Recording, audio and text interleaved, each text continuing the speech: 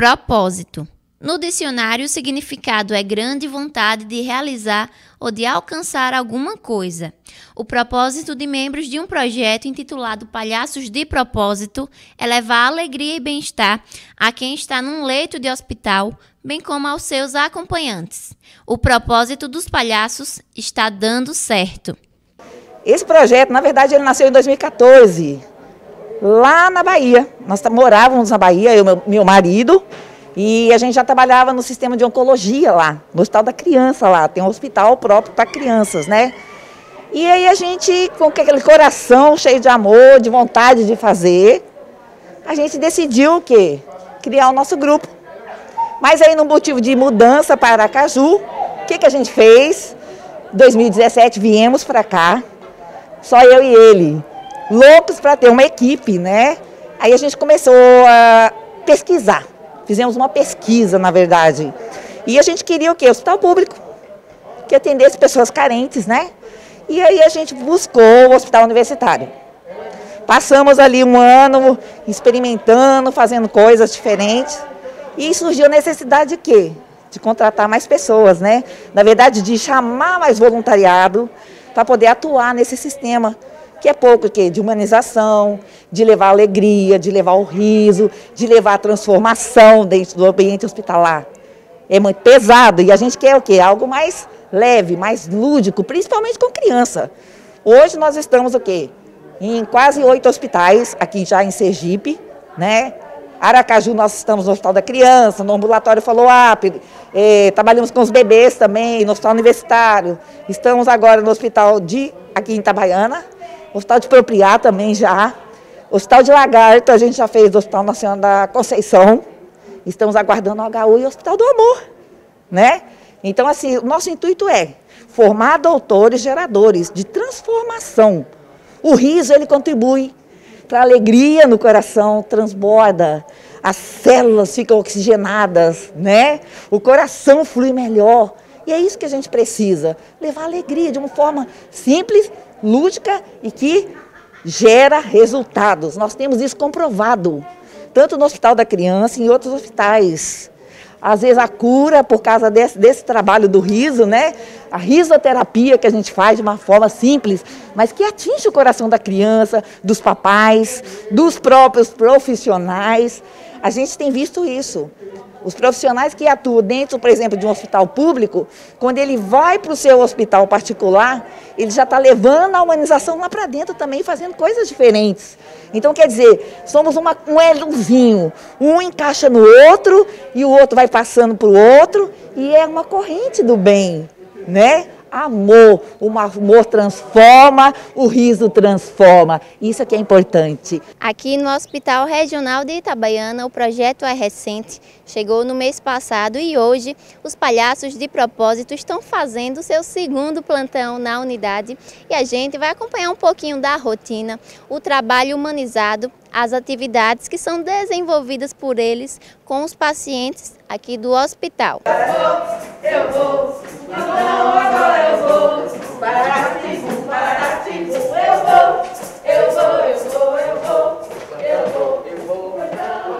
Uma das coisas que nós identificamos aqui na, na, unidade foi que nós temos duas dores aqui. Eu tenho a dor do paciente e tenho a dor do acompanhante. A dor do acompanhante, ela só é sanada quando você se aproxima dele.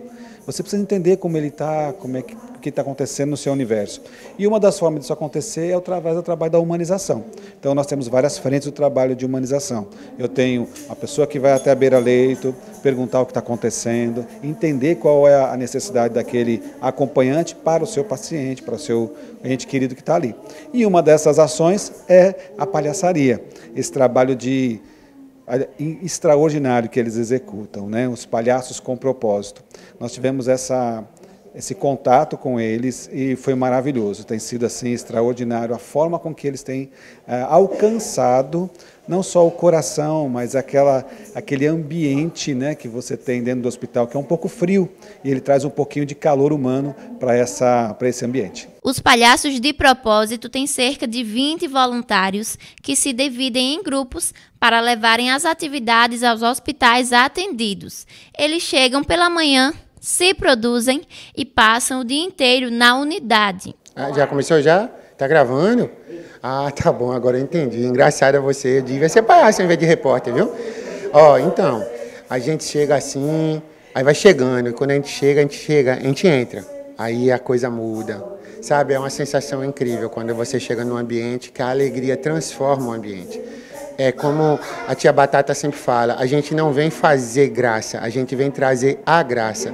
E a graça, ela pode ser vista como um ambiente de sorrisos, mas um ambiente de alegria, um ambiente de amor, de carinho, de um gesto de humanização. É o que nós estamos fazendo aqui. Aí esse gesto, ele acolhe tanto o paciente, quanto a pessoa que está acompanhando, quanto o profissional que às vezes está muito cansado dos seus plantões e estão lá trabalhando cansado. E a gente chega para poder trazer a liga para eles. E você está convidada, viu? Inclusive você que tem um palhaço aí, viu? É, doutor Xaropinho. Xaropinho, eu tô com saudade de você, viu, Xaropinho? E como é a preparação de vocês no dia, quando vocês chegam no hospital? Vocês chegam que horas? Como é que todo esse processo antes de estar em contato direto com os pacientes? Ah, primeiro, eu vou, eu vou sair aqui, né? Ah, primeiro a gente, a gente é preparado de forma técnica, né? Com o curso de palhaçaria. Então, no dia da, do plantão, como em Itabaiana especificamente, a gente passa o dia inteiro no hospital. A gente chega, faz maquiagem, faz aquecimento, cuida da parte também de encher o bucho, faz um lanchinho.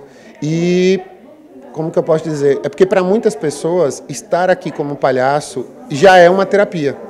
Então, meio que a gente vem para cá para receber também essa sensação de transformação. Então, é, você falou sobre como a gente se prepara. A gente, na realidade, se desprende de tudo que está lá fora e vem para cá para trazer alegria para as pessoas. É mais ou menos assim. O principal público do projeto são as crianças, e os palhaços de propósito conseguem arrancar muitos sorrisos e amenizar a dor do momento da internação, não apenas da garotada, mas também dos seus acompanhantes. É assim, né? Vai trazer uma coisa diferente para aquelas pessoas que estão sofrendo ali numa maca, né? Vão trazer um pouco de alegria, porque ali vai alegrar um pouco, né? Mesmo na hora do sofrimento, né? De cada uma criança. Porque tem cada criança e cada caso, o seu caso, né? Mas quando vê um tubarãozinho, uma espuminha, aí a tristeza acaba e traz um pouco de alegria. Estou aqui com a minha filha aluna, a gente recebeu uma visita inesperada dos palhaços para alegrar as crianças e trazer um pouco de alegria, porque assim, né, a gente fica aqui sem os horários do dia e assim, é uma diversão até para as criançadas, para as garotadas, só que a minha está meio tímida. A minha tá meio envergonhada. Mas assim, é bom para as pessoas, né? Trazer um pouco de alegria nos momentos dessas doenças que estão vindo aí no, no mundo. O serviço é totalmente voluntário. E o que os palhaços recebem em troca? Sorrisos e mais sorrisos. E isso, com certeza, não tem preço. As imagens são de Federico Delícia, aqui Thaís Cristina, para a TV Itinet. Então, eu quero falar para você também que tem interesse em ser um voluntário, em fazer uma ação que, né, que de repente vai despertar o interesse. É, duas vezes ao ano nós damos uma formação de doutor palhaço. Muita gente nos pergunta, precisa ser da área da saúde? Não, temos áreas distintas, tá? Então, no segundo semestre, possivelmente em setembro, faremos uma nova chamada, muita procura lá no nosso né, no nosso direct, mas vamos ter mais cursos já em setembro. É só ficar ligadinho no nosso Instagram, arroba Palhaços de Propósito. E aproveita e segue, dá joinha lá pra gente. É... Nós somos Palhaços de Propósito!